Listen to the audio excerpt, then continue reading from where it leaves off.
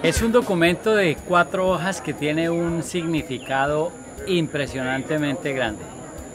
Que la comunidad de la Ciénaga de Palagua tenga en sus manos esa resolución, ese papel, involucra un trabajo de años, protestas, críticas, malos genios, eh, concertaciones, reuniones y haber podido reunir en una sola mesa a las empresas petroleras, a la administración municipal, Corpo Boyacá y los líderes de la comunidad.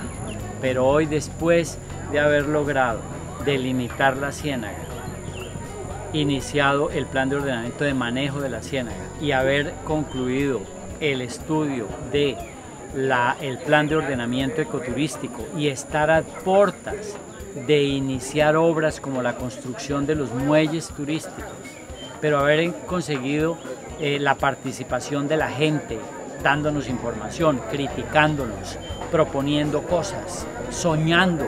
Hoy en día eh, es, un, es, una fecha muy, muy especial.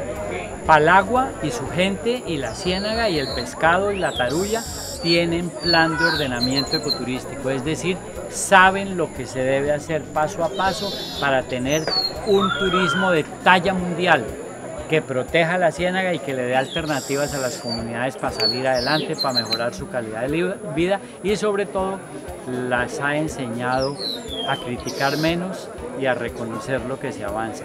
Las ha enseñado a unirse más y a tener confianza en las instituciones públicas. Así que hoy es un día muy, muy especial en todo este proceso. Obviamente falta muchísimo todavía, pero ahí vamos, ahí vamos y van a salir las cosas muy bien.